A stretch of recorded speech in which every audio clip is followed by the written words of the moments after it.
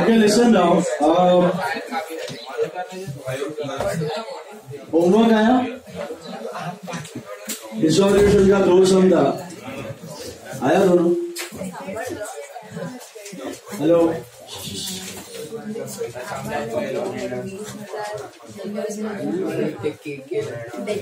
Check the homework का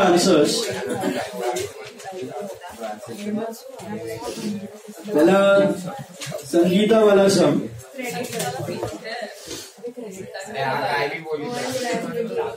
गीत sorry Sita Gita था ना पहला सीता गीता वाला सम देख लो सीता गीता वाले में रियलाइजेशन प्रॉफिट आ रहा है ट्वेल्व थाउज़ेंड टू हंड्रेड पहला and sub division of profit is nine seven six zero and two four four zero is that right hello then अपना पार्टनर्स कैपिटल का पार्टनर्स कैपिटल में एक का सरप्लस है एक का डेफिसिट है।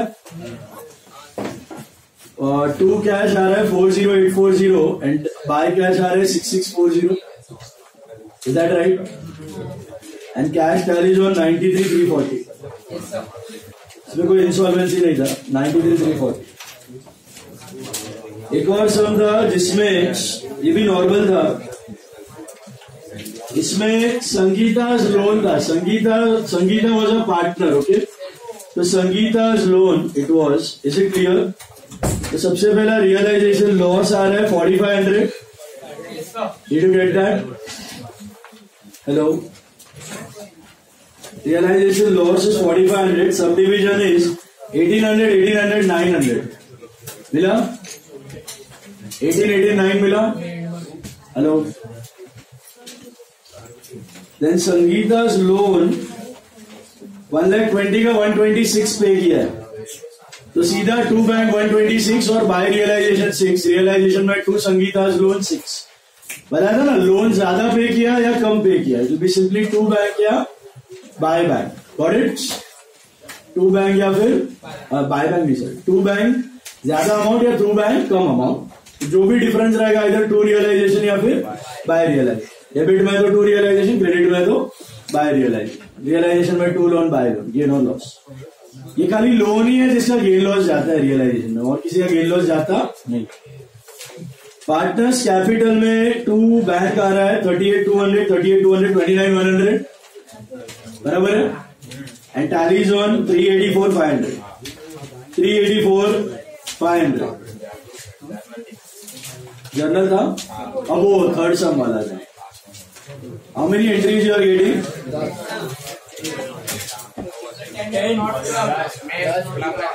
देख लो डिस्कस कर रहा हूँ जर्नल सबसे पहला entry realisation account debit three zero one six three zero to machinery one four one seven five zero to stock twenty six four twenty five to life policy forty nine thousand to investment five one nine zero five to book debts three two five five zero बराबर second week entry please be quiet RDD जिन्हें RDD one two one double zero creditor sixty four seven fifty Sheetal's loan thirty five thousand joint life policy forty nine thousand to realisation one five zero eight five zero not revaluation realisation मिला Then it is bank to realization 34275. Then Shefali Sadhana to realization 61250 38500 and 99750. That's for taken over. Then realization to bank 56350 that is for liabilities paid off. Then realization to Shefali's capital 35000 this is for taken over. Then realization to Shefali Sadhana Sonali 199 895 seven double nine five eight seven double nine five eight three double nine seven nine. That's for profit. And then Shafali Sadhana to bank one nine three seven zero eight one one one four five eight three zero five one double six. And bank to Sonali two seventy one. Bank to Sonali two seventy one. If you have combined the takeover entries, there will be nine. If you have not combined the takeover entries, there will be ten. Is this clear? Anyone has got the test paper? yesterday absent था तो सीधे लाया इसको full है इसको full है उसका तीनों राइट ऑब्वियसली है हाँ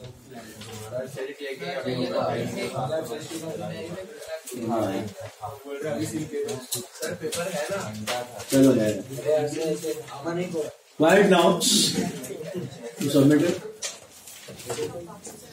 थोड़ी जाने दो दो लखवाना टाइम पास चालू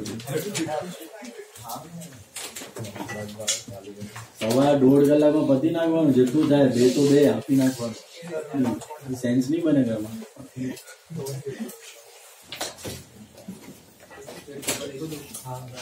ચલો all of you take now dissolution last part very very important it is all partner insolvency okay all partner insolvency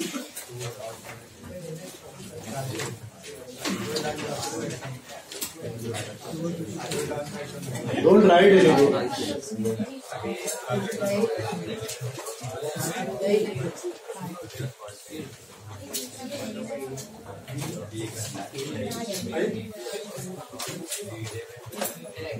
बस हमारी बैलेंस शीट भी बन हो रहा है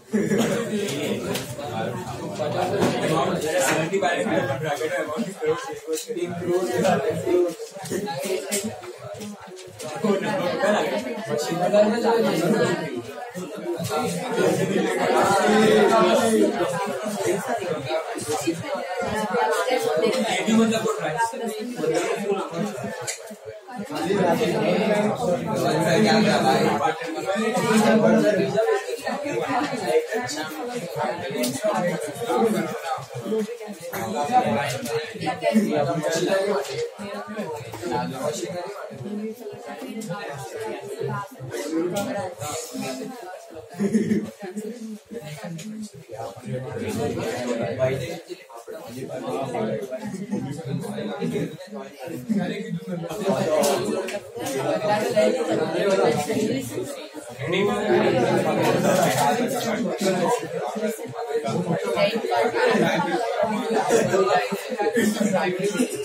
ఎంత మాట మాట్లాడుకో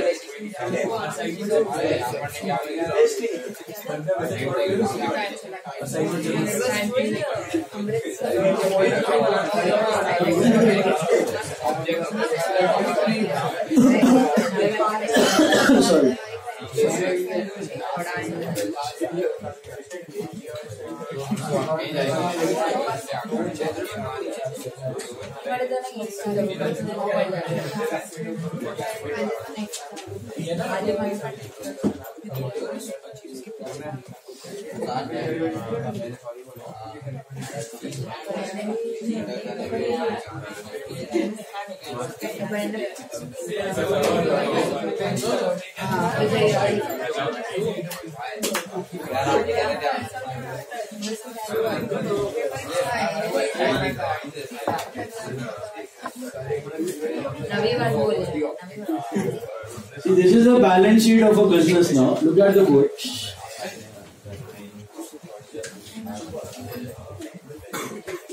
Pay attention.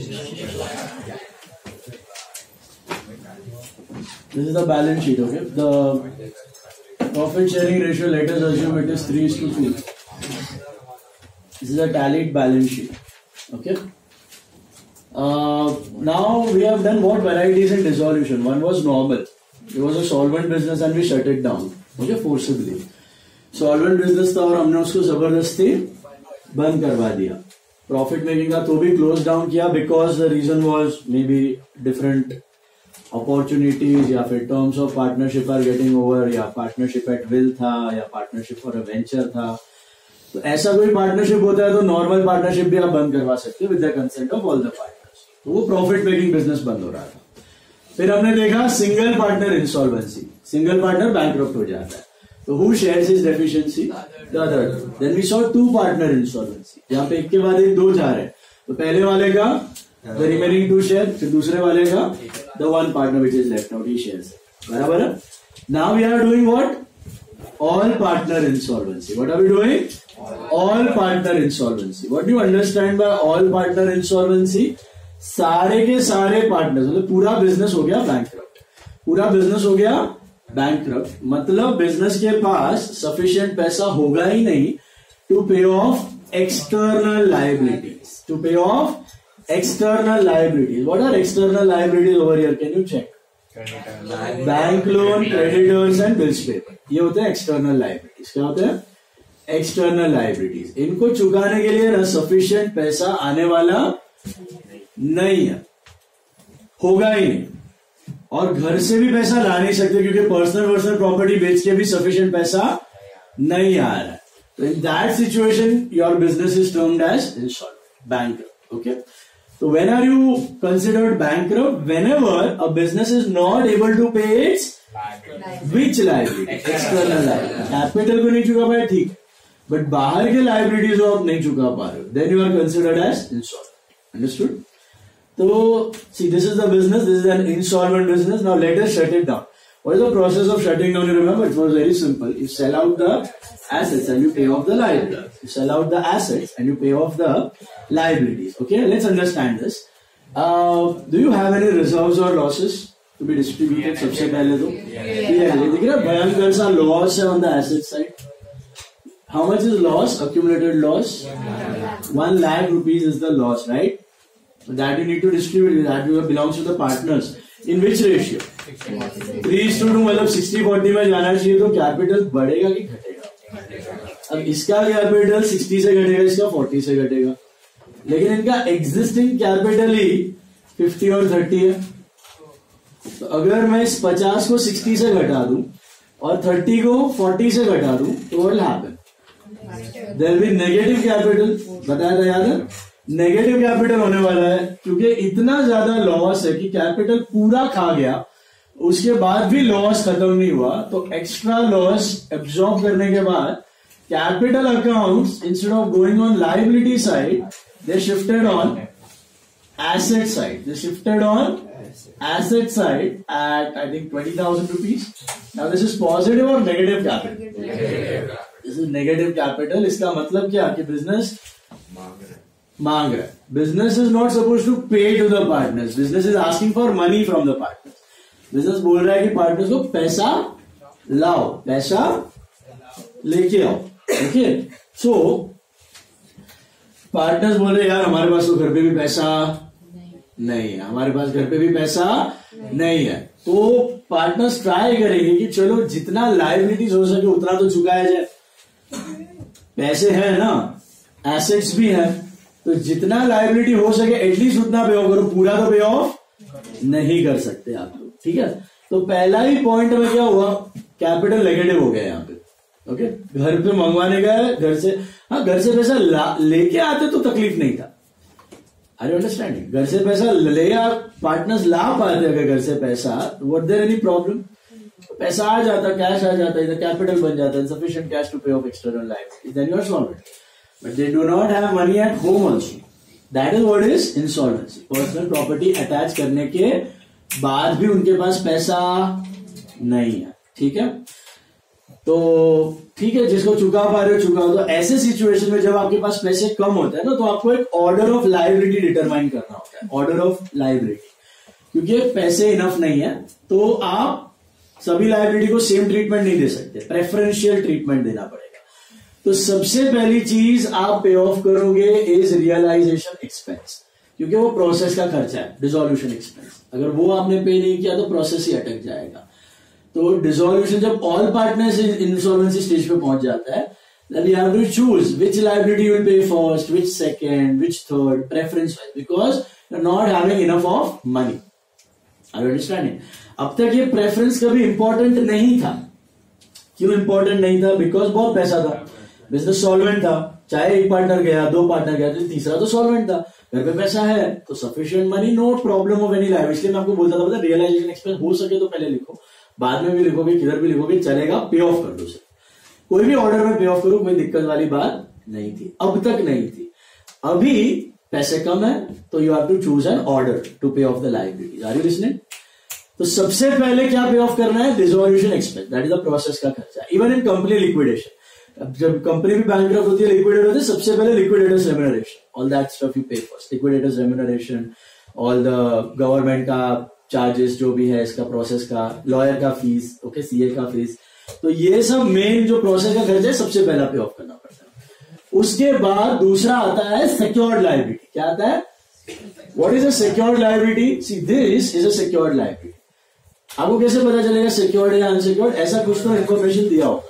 Secured by stock ठीक है bank loan secured by stock secured by stock charge on stock mortgage of stock mortgage of plant mortgage of machine mortgage of furniture तो कुछ भी चीज़ गिरवी रख के अगर कुछ लोन लिया है तो वो हो गया सिक्योर्ड वो हो गया वो लोन भी हो सकता है क्रेडिटर्स भी हो सकते हैं। कुछ भी लाइबिलिटी अगर सिक्योर्ड है तो you pay that first you pay that first why because bank loan जो है, वो आपने किसको गिरवी रख के लिया? हुआ है स्टॉक तो स्टॉक का पहला हक बैंक लोन का है।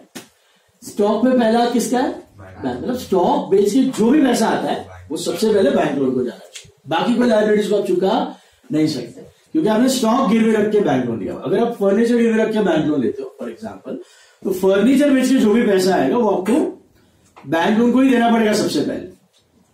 जितना भी आता है सारा पैसा किसको देना पड़ेगा?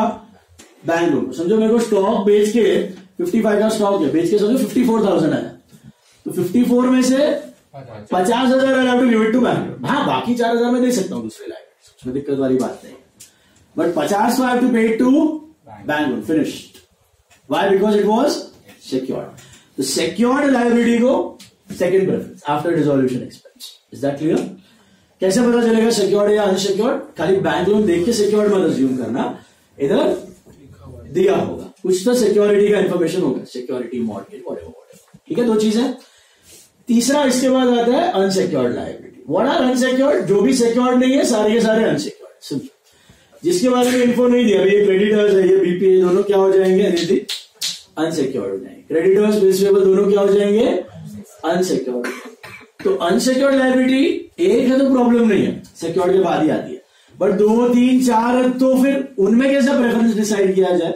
तो कोई प्रेफरेंस नहीं है। You have to pay that in liability ratio you have to pay that in liability ratio मतलब फॉर एग्ज़ाम्पल आपको ये सब चुकाने के बाद बैंक लोन चुकाने के बाद क्रेडिटर्स को देना है एट्टी बीपी को देना है फोर्टी फॉर एग्ज़ाम्पल आपको यहाँ पे देना है एट्टी और फोर्टी और आपके पास खाली समझो थर्टी थाउज़ेंड या जस्ट थर्टी थाउज़ेंड रुपीज़ और उसमें आपको इसको एटी देना है, इसको फोर्टी देना है। Is this possible Because 30,000, you have to use that 30,000 so that you are able to pay some part to creditors and some part to bills payable. So what ratio you will choose? You can't take it as PSR. PSR के इससे कोई लेना देना नहीं है liability. समझ में आ है इसको 80 देना इसको 40 देना दोनों को इक्वल हो गई क्या क्यों बढ़िया इसका ज़्यादा है ना लाइबिलिटी इसका कम है तो कॉमन सेंस क्या बोलता है जिसके ज़्यादा लाइबिलिटी उसको ज़्यादा पैसा जाना चाहिए जिसका कम है उसको कम जाना चाहिए तो you will divide this thirty thousand ratio of two is to twenty and ten तो twenty will go to creditors and ten will go to that's how you pay off unsecured liabilities in which ratio in liability ratio in liability ratio why liability ratio because दोनों का nature same you cannot pay off bank loan and creditors in liability ratio why Because one is secured, one is unsecured. Are you listening? Bank loan और creditors अलग nature के liability है। एक secured है, एक unsecured तो वो तो अलग ही है। पहले सिक्योर्ड हो जाएगा, वो खत्म होने के बाद अनसिक्योर्ड हो जाएगा। बट अनसिक्योर्ड में आपके पास क्रेडिटर्स है बिल्स पेबल है बैंक ओवरड्राफ्ट है आउटस्टैंडिंग एक्सपेंस है bills payable so all these items are what unsecured इन सबको कौन से रेशो में करने का? लाइबिलिटी अगर एक से ज़्यादा है तो एक ही होता तो तकलीफ़ नहीं है, जो भी उसी को जाएगा अच्छा ये देने के बाद साला फिर भी नहीं चुका पा रहे हो। पैसे तो कम ही थे ना। इसको बीस दिया, इसको दस दिया। इसमें अभी भी सिक्सटी बाकी है, इसमें अभी भी थर्टी बाकी वो कहाँ जाएगा? Deficiency that is what is transfer to याद करो bills payable bills of exchange draw installment होता था लास्ट लास्ट में। एकदम हाँ drawer to cash to deficiency drawer to cash to deficiency मतलब जो दे पाए वो ठीक है, दे दो। जो नहीं दे पाए उसको क्या बोलते हैं? डेफिशिएंसी वो कैसे होगा डेफिशिएंसी अभी देखते हैं प्रॉब्लम के साथ। देखते हैं, चलो। पहला स्टेप मैंने क्या किया यहाँ पे? I distributed the loss okay distributed the loss. Now let's sell out the assets and let's pay off the liabilities. तो सबसे पहला let us sell out machinery machinery बेच के आई थिंक आई गॉट समझो 50 था 50 का मशीनरी था. Let us assume I got 40000 machinery बेच के I got how much 40000 I got machine से आई गॉट 40 तो सीन क्या हुआ यहाँ पे? मशीन गया 50 का. ये सुनो पैसा कितना आया? तो I think cash will become sixty thousand am I right hello and there is a loss of ten thousand जो थ्री टू में जाना चाहिए। किसको? थ्री टू में जाना चाहिए ना पार्टनर्स को। तो सिक्स एंड फोर अच्छा ये कैपिटल बढ़ाएगा कि घटाएगा? कैपिटल घट रहा है बट ये नेगेटिव कैपिटल और नेगेटिव कैपिटल क्या हो जाए? बढ़ेगा। और लॉस लॉस में और लॉस है ना? और लॉस बढ़ गया। पहले ही ऑलरेडी नेगेटिव कैपिटल था, उसमें और लॉस ऐड हो गया। तो 16 और 14 हो गया। समझ में आया? मशीन बेचा ना 50 का 40 में तो चालीस हज़ार आया। पचास गया, और दस का लॉस क्लियर है? ऑब्वियसली इसके लिए वापस हम लोग रियलाइजेशन अकाउंट बनाएँगे, उसमें प्रॉफिट लॉस एडजस्ट कर कंसेप्ट यही बता रहा हूँ मैं क्या हो रहा है वहाँ पे। देन स्टॉक बेच के समझो सिक्सटी थाउज़ेंड आया। फिफ्टी फाइव का बेच के कितना आया? सिक्सटी आया। प्रॉफिट हुआ। फिफ्टी फाइव का स्टॉक कितने में बिका? सिक्सटी में बिका। तो स्टॉक गया पैसा कितना है? सिक्सटी थाउज़ेंड आया तो ये हो जाएगा कितना? One lakh and twenty thousand हो जाएगा। बराबर है? और पाँच का प्रॉफिट है? कैपिटल बढ़ता है नो डाउट बट ये नेगेटिव कैपिटल तो घटेगा। है ना? नेगेटिव कैपिटल उसमें प्रॉफिट आता है तो घटता है। लॉस आता है तो बढ़ता है। तो इसमें कितना? थ्री और टू है ना? तो थर्टीन और ट्वेल्व हो जाएगा। तो ए का थर्टीन बी का ट्वेल्व तो this is become twenty five अभी डेटर्स एक बाकी है. डेटर्स रियलाइज़ लेट से सेम अमाउंट ट्वेंटी फाइव 25 का 25 realise no profit no loss तो क्या सिचुएशन होगी? डेटर्स जाएगा और पैसा आएगा. और इधर बचेगा वन लैख फोर्टी तो सारा एसेट मैंने बेच दिया. एसेट सेल का काम खत्म हो गया. अभी पैसा आ गया तो हम लोग को लाइबिलिटी चुकाना है। लाइबिलिटी हम लोग सब कुछ इक्वल ट्रीटमेंट तो दे नहीं सकते